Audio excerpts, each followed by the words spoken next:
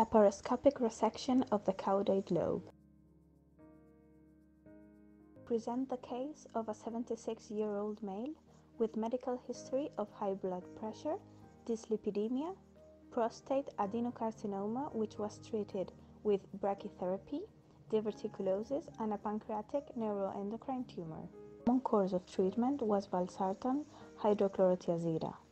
The patient had surgical record of laparoscopic distal pancreatomy and inguinal hernioplasty. The patient was under medical monitoring for a cystic lesion in the pancreatic tail, which was suggestive of TPMI. During control checkups, the lesion appeared to increase in size. Therefore, a distal laparoscopic pancreatectomy was performed. The result of the anatomopathological study revealed the lesion to be a low-grade neuroendocrine tumor, T2NO.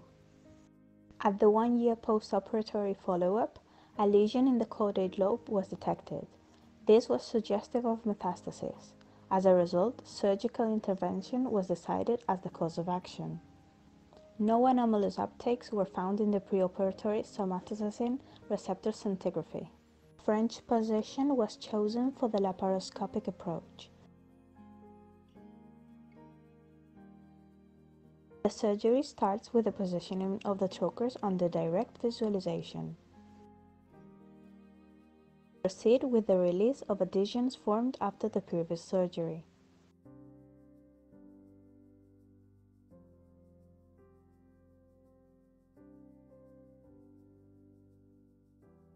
We section the round and falciform ligaments.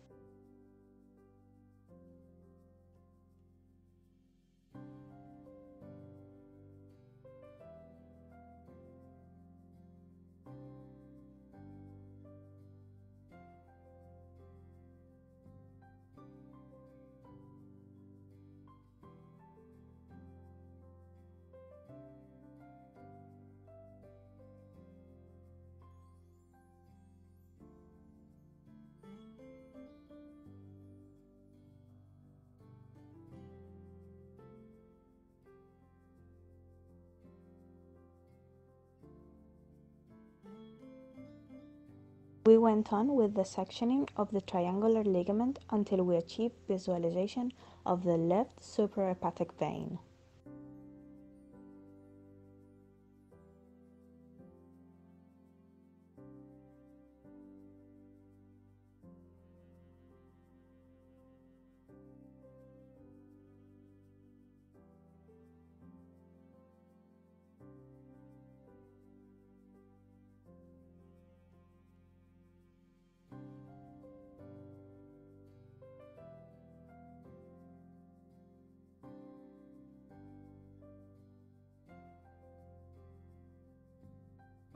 This image, we can see the diaphragmatic vein and the left suprahepatic vein.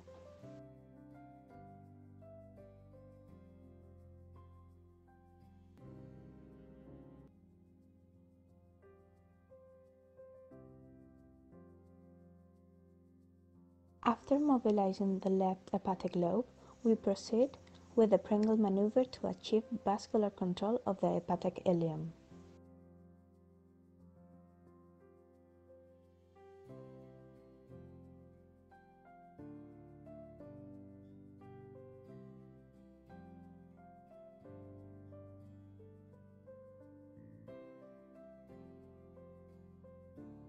We separate upwards the second and third hepatic lobes to expose the caudate lobe. Intraoperatory echography is used to confirm the location of the lesion.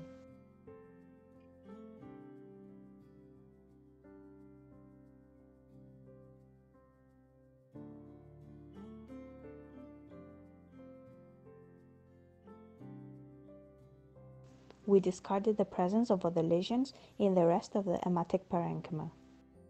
We continue with the dissection of the Arantius ligament until the exposure of the medium suprahepatic vein.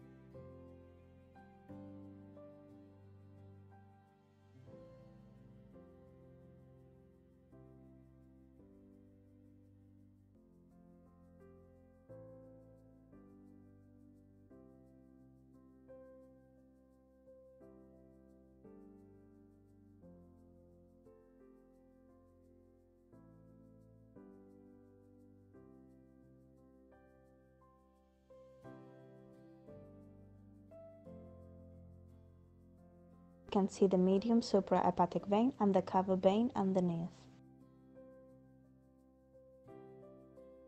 Doing this, we start the left piggyback separating the caudate lobe from the cava vein.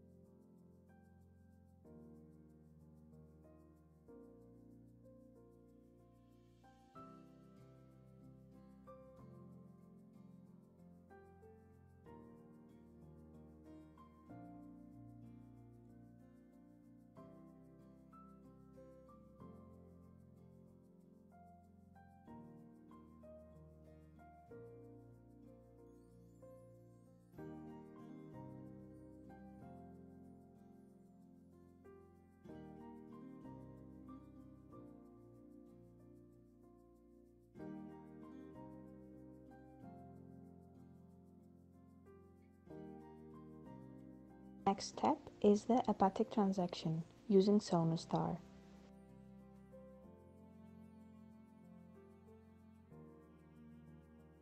Continue with the vascular control of the portal branches of the caudate lobe using endoclips.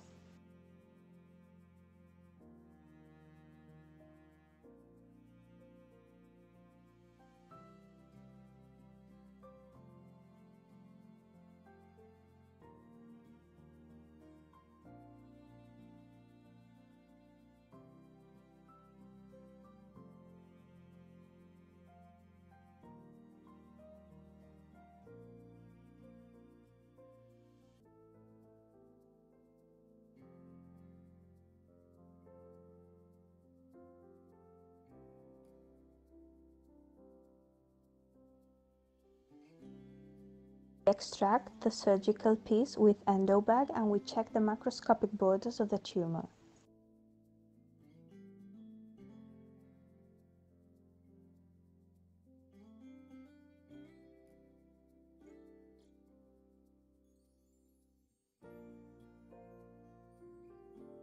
the surgery with a thorough hemostasis. In this last image, we can see a global view of the anatomy identifying the left suprahepatic vein, the medium suprahepatic vein, hepatic hilum, and the cava vein, surrounding the surgical bed of the caudate lobe.